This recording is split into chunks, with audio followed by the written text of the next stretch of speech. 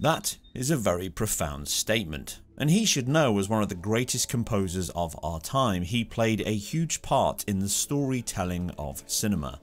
Take any great moment in the history of modern cinema and it is almost always driven by music. It is, after all, the biggest tool in the emotion box.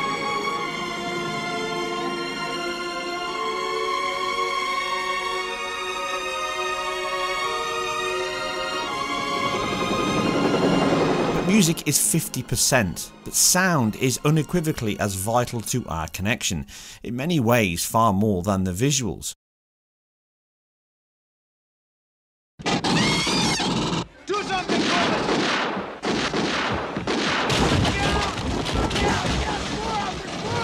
Medical! Get to medical! We can accept a poor image, drastic cuts or inconsistent imagery far easier than the same thing for sound.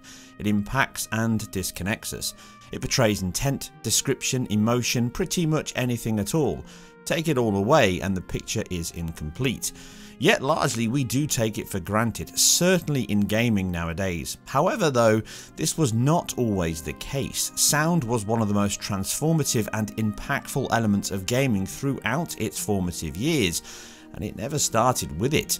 Right up to the late 90s and early 2000s, it was a focal area for game development and growth. The history of game and sound creation, the battles of audio producers, foley artists, and space saving development is a vast, explosive, and exciting saga, yet it is rarely given the love it so richly deserves. I plan to change all that with this, my exhaustive history of sound retrospective series. I plan to lavish your brains with info, ears with wonder and eyes with colour, all the while making your hairs stand on end. So settle down as I take you on a long, troubled and ear-piercing adventure into sound. Here we go.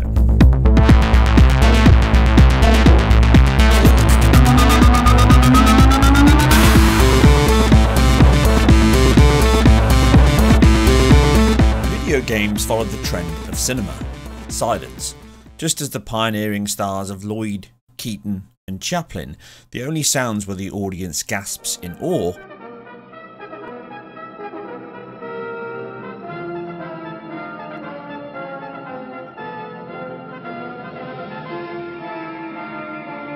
Or the riotous laughter.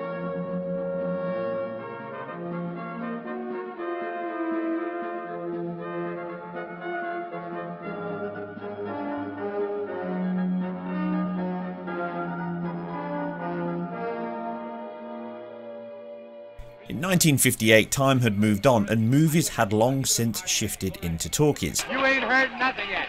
Video games did not yet exist, but there was time for tennis. Tennis for two.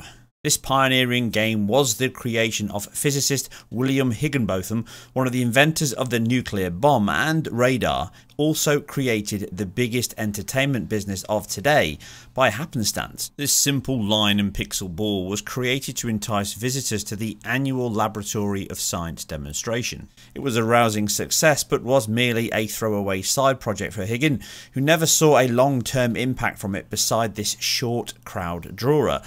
His expertise in radar technology stands out with the game having a more frantic and physics-based movement than the later Pong it so clearly inspired, and for all it gained in oscilloscope rendered movement it lacked in sound, with the action being completely silent as you blip the pixel back and forth. The star of the show was muted, but the crowd's enthusiasm was heard eventually. In space, no one can hear you scream, or even shoot, it seems. Space War is the very first creation you can still associate as a video game today.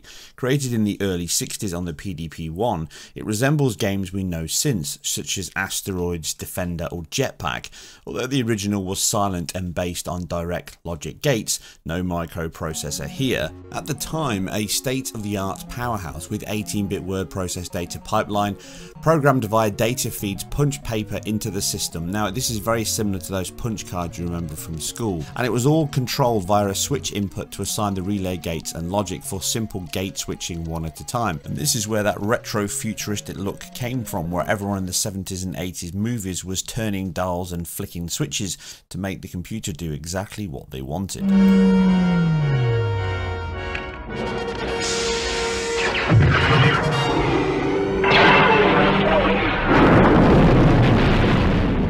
The sheer computational power needed to run a game and sound in parallel was not really possible. It could produce some decent chip themed wave melodies by using those relay gates and registers to turn tones on and off, it just couldn't do this at the same time as running a game. Remember, this was the pinnacle of real time interactive entertainment, and this game itself only ran in 4 kilobytes of space. That's 68 times less space than the sample it takes for me to say 4 kilobytes. It's an impressive look back into our history of video game technology, but sound still wasn't part of it.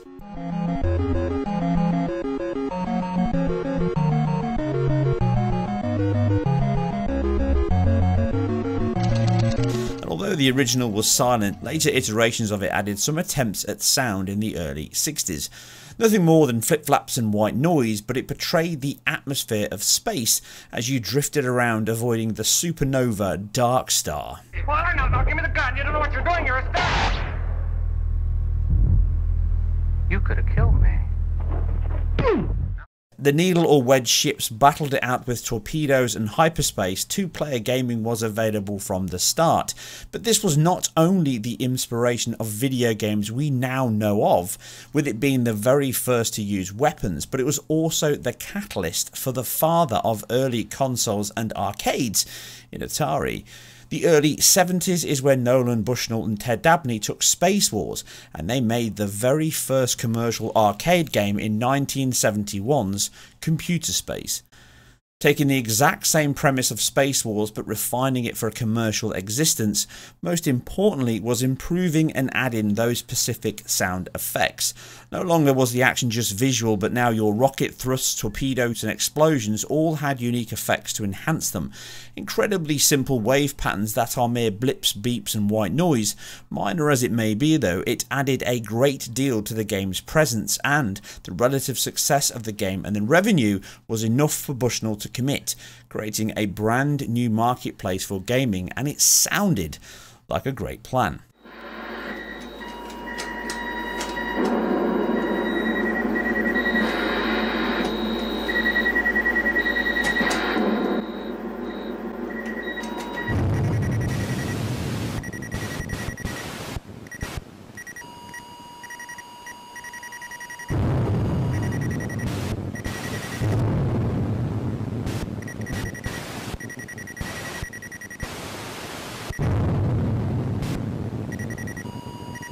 It's one that only took them a further year to realise with its next arcade. Another muse, as already discussed, and from Magnavox's Tennis for Two, but this time sound was to become far more than a mere bit part.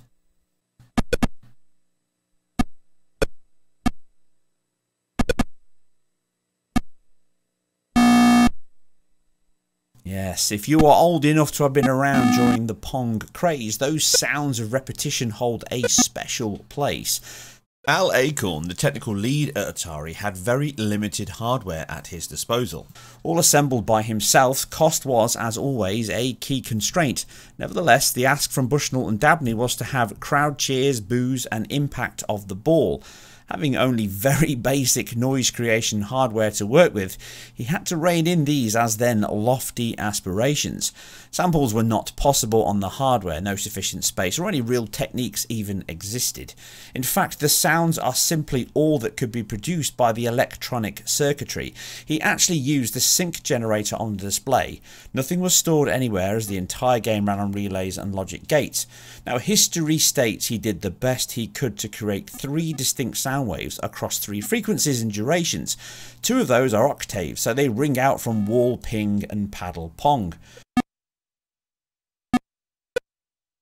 The odd one out though is that semitone of the point or miss. It alerts you to the drastic change, either win or lose side. This shift in duration and pitch gives the game its unique signature, like a game show buzzer for the wrong answer.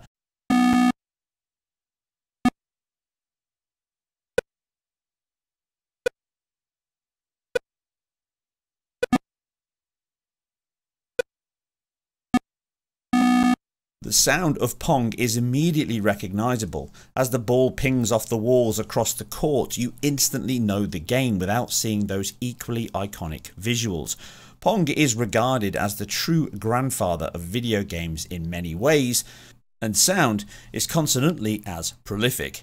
This was not only the beginnings of the behemoth it would become, but also the day games made that first giant step from silent to talkies, with sound and action combined, symbiotic and central to the game itself, and this set us on the long journey ahead. Now, over the next couple of years, things moved on slowly. Breakout was more of an extension of Pong, and just like today, copycats popped up everywhere, with the Pong clones becoming a bedrock for entire businesses and investment plans in the mid 70s. Even Nintendo themselves started here, with Pong being the step up to the NES. Atari knew they had to change the game again and created the Video Computer System in 1977, which came with many games, including Pong, of course. One of the big leaps aside changeable games via the cartridge format, which was revolutionised by the Fairchild F, was the extra power and the monstrous 128 bytes of RAM afforded. Sound was moving up the stack.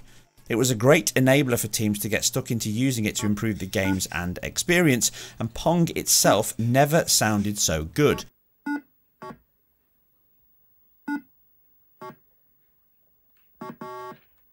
With the brand new system offering a combined multi-purpose ASIC designed by genius Jay Miner, yes the very same of the Commodore Amiga fame, the Television Interface Adapter or TIA drove the graphics display, polled inputs and generated all sound via its dual channels. These were dual oscillators that could create frequencies via a 5-bit register combined with a 4-bit pulse wave controller and a 4-bit volume controller.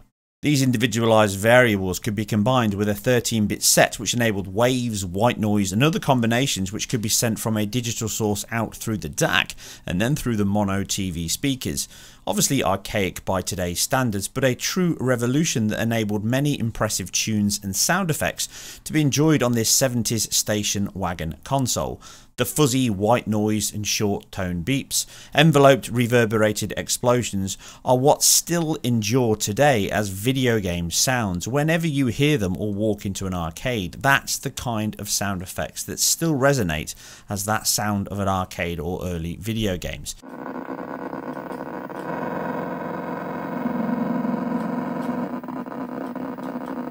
The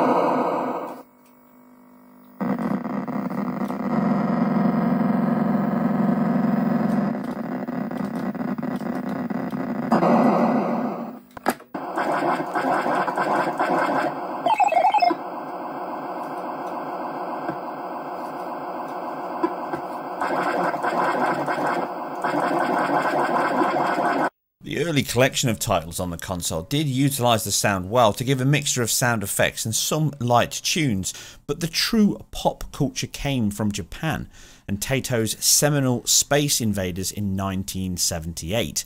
The world and our ears were never the same again.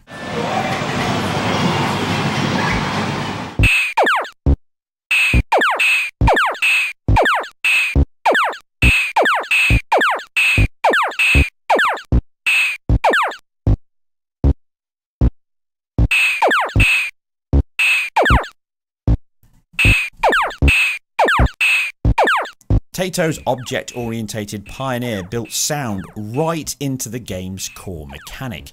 The first game to do that. Anyone who played this game back then or up to the early 80s can understand the urgency and individuality the game's soundtrack delivered using a heartbeat rhythm to portray the tension of the game loop. As you cleared the edges, the pace moved up. A rhythmic beat hits your core, making you anxious to clear the descending hordes, increasing your mistakes. It is the very first example I can recall where sound not only enhanced the visuals, it underpinned the gameplay and was woven into its heart unlike anything else prior. The psychology involved here is astounding, as the combination of the elevated pitch, increase in tempo and the visual update, which was a byproduct of the game's object-based design, speeding up the logic as less invaders appear at the extremities, means the sound is as vital to Space Invaders as the electroid enemy on the cabinet side. Due to this cadence of a drum beat, it is also the pioneer of video game music during gameplay. Like most fledgling elements, it is limited and will continue to be so for many reasons and many years to come, one of those being hardware and obviously space limitations. But the game itself was a true catalyst of the arcade and gaming market. Here in the UK, it was simply the game, the only game. Outside of Japan, where arcades ruled, the UK was the single biggest market, much larger than the US at the time. Space Invaders was the talk of the town. School, workplace, machines cropped up not only in full blown arcades or down by the seafront, but in chip shops, pubs, youth clubs, and even cafes, with the constant craze to secure the high score on the leaderboard. It was a phenomenon that you simply cannot understand unless you were there, as it created an entirely new form of entertainment and it pushed the market over that $1 billion mark in 1978. As small as it was relatively, Space Invaders made a loud and long lasting impact.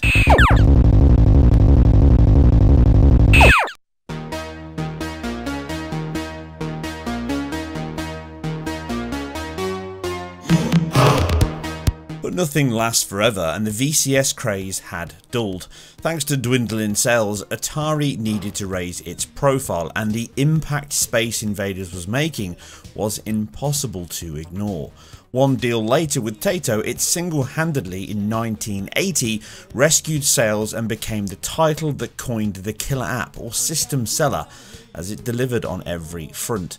As sound was a key element of the title, it was allocated a healthy budget on the ROM alongside a good slice of those vital CPU cycles. To ensure the audio via wave generation patterns was up to the arcade origins it so obviously aspired to be and it achieved them at some level as the game was a smash hit with a very close port for such limited specifications. It was such an influential title that it is now regarded as pop icon with its very design influencing everything from pop bands, adverts, movies and even modern art.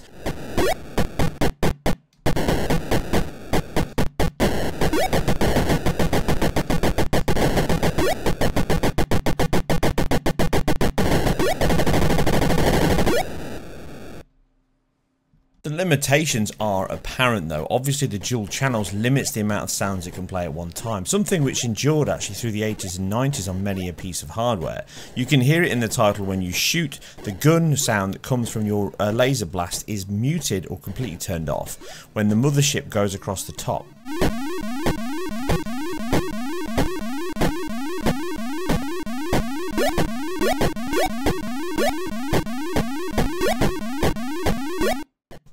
Even with these limitations, it was a superb conversion that managed to seal the deal in terms of convincing you you had the arcade in your home, although this was still the day when it was many, many moons before you ever had Arcade Perfect, even though companies claimed it for many years to come.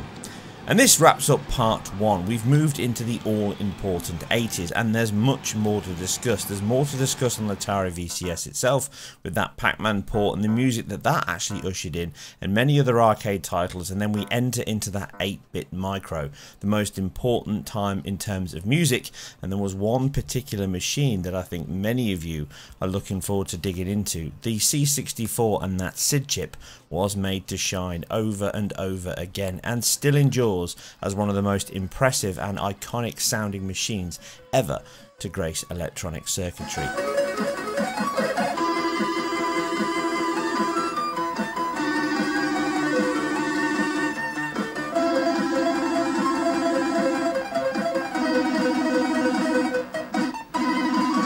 So if you do enjoy this or anything else that I put together, then please help by subscribing, sticking a comment down below and a thumbs up, or even a thumbs down, and a reason why you don't. And also on Patreon, if you can give me dollars or pounds, this kind of content really is supported by each and every one of those that support me on Patreon and I truly am grateful. So if you can please give any dollars or pounds if you can afford it. It really helps.